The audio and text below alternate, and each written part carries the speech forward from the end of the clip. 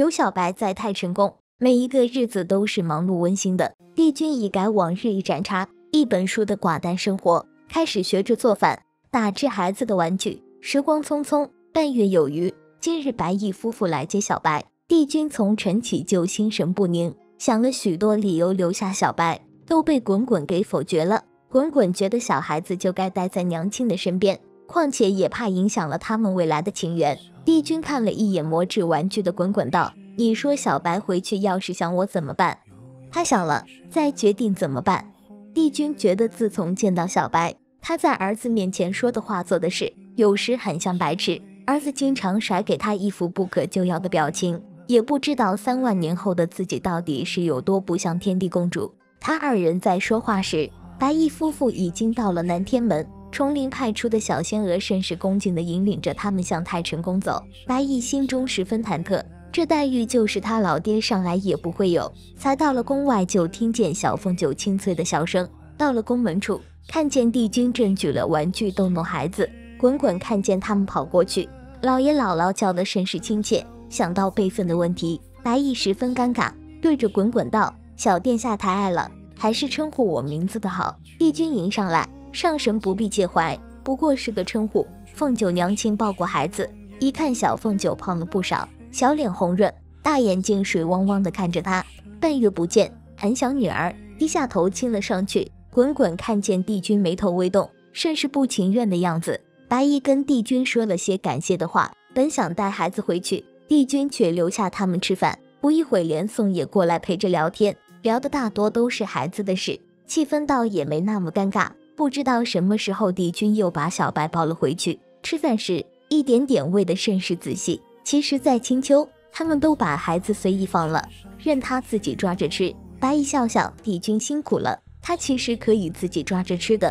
是吗？那我们看看小白的本领。帝君直接把小白放到了餐桌上，小凤九闻着香味，小手在玉碟里抓吃的。连宋看着小凤九的手在盘子里一顿搅，赶紧放下了筷子，觉得自己可能十天都不会饿了。吃过饭，帝君又留白一喝茶，赏话就是没有叫他们走的意思。直到天边有了晚霞，白衣再次开口，帝君才点了头。帝君回寝殿收拾小凤九的衣物。玩具连吃饭的玉碗也给装上。帝君佛书修得好，舍得二字于从前不过是放下，如今却是不舍得。怎么舍得？怎么都不舍得小凤九走。磨蹭了半天才收拾好了一个包袱。白毅夫妇辞过帝君，向宫外走。帝君追上去，抱过小凤九道：“我送送你们。”这一送就快到青丘了。滚滚拉了下帝君的衣袖：“夫君，我们也该回了，好吧？”帝君把小凤九递给他的娘亲。觉得小白离开他该是不，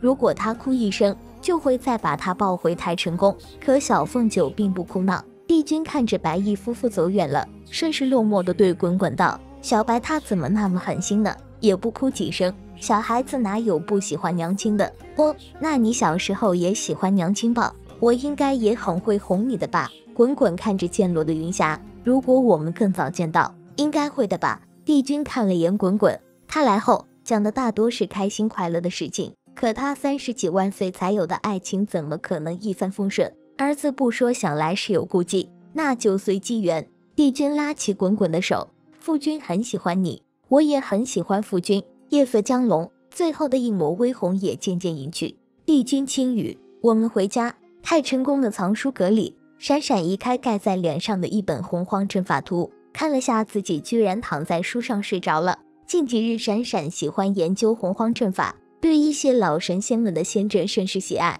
看下来，他觉得少婉和他父君设下的阵法不相上下。少婉的一个仙阵，这一个心字就设的七巧玲珑。听说入此阵很少有人走出来，也不知道他父君入过阵没有。闪闪起身想找帝君问下，压在书下的群居带到了一排画卷，他手里画出仙法，画卷飞了回去，其中一幅却不受控制。松散开来，看过去画上是他们几个孩子，可他父君怀里却还抱了一个。闪闪一时没看懂，又看了下，原来是他父君把凤九画成了婴儿的样子抱着。不过这画倒更像是滚滚描的丹青。闪闪推开藏书阁的门，帝君不在书房，他拎了画向殿外走。此时陈玉和凤九还在秋千边上。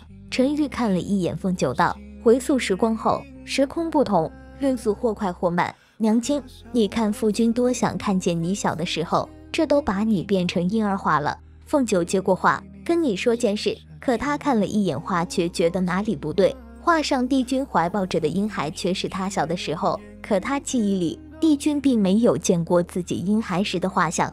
这画上帝君的衣服、身后的树、桌椅都是不对的。陈玉看着画，也发现了端倪。新女头上的一枝发簪是他们在凡世游玩时买的。今日第一次戴，可今天没有人描过丹青。陈玉看向闪闪，这画哪里来的？藏书阁，三个人进了藏书阁。闪闪听说是新女回溯了时光，甚是遗憾，可惜了，我不在，不然要好好戏弄下夫君。陈玉看遍了藏书阁，也没发现什么。他们是回到了三万年前，这时候你该是多大？凤九仔细的看着画，应该是过了周岁了。他手扶上画像。可东华是怎么把一个刚满周岁的孩子带回太晨宫的啊？闪闪笑道：“我夫君他肯定是恩威并施啊，真好奇我那板正的老爷啥表情。”陈玉指着画道：“他们那个年代，时间该是比我们的快。帝君和连宋取代了原有的自己，不会有记忆。滚滚和星女突然出现到把你从青丘抱回宫，这需要时间，怎么也要一月吧？可我们才不过一个时辰。”凤九脑子粗略的算了下，看向陈宇，那他们要是过了三万多年才回来，那那我也会老啊。陈宇打趣他，你就是再老，还能老过帝君？笑笑又道，不会的，心里他们也一定在等机缘回来。况且帝君的心愿实现了，这法阵因他而起，自然会因他的心境改变。陈玉莹，你啥时候能恢复法力，把我送过去？我有一堆的事要做。你这么古灵精怪，要是过去了，那凌霄殿还不得翻了？闪闪看着放画卷的位置道：“那这画能从三万年前来，是不是我们在画上写了字？傅君他也能看到。”陈玉沉思了许久，也是有可能的吧？这画定是新女放的。凤九一听，开心地道：“那我在上面给东华写信，万一能见到呢？”陈玉，你也给连宋写吧。好。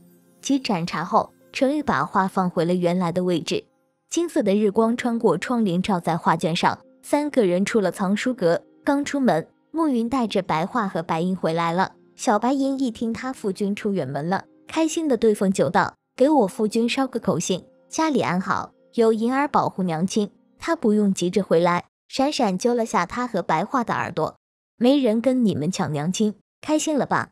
白银掏出快糕递给闪闪。比娶媳妇还开心呢！院子里响起欢快的笑声。